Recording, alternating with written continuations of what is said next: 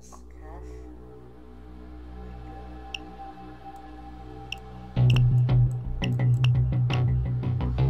is a hit on a small bank, but it doesn't mean it'll be easy. We're going for cash. You want to get into the bank vault. Get the thermal drill out, crack the vault, bag up the cash and escape with our van. Oh, my guy stashed the thermal drill around the back of the bank. Okay, the thermal drill you need...